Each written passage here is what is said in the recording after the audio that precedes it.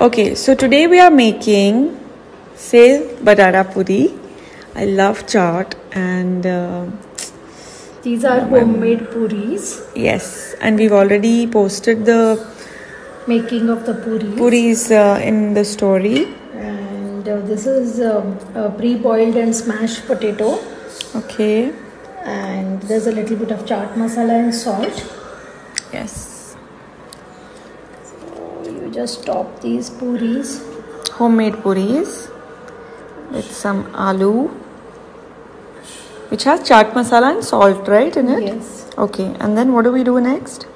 Uh, next what we are going to do is this is a lovely Okay, then you add the mint chutney and the what is this this, is date and uh, Date and tamarind chutney. okay.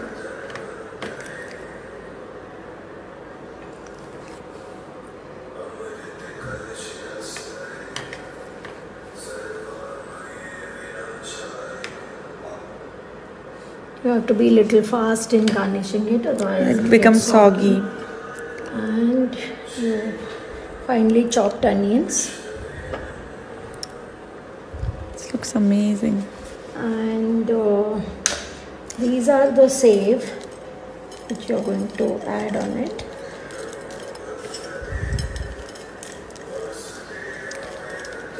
And then there is chaat, Chaat masala. masala. You slightly sprinkle on it. Chaat masala, salt, and some chili powder. Okay.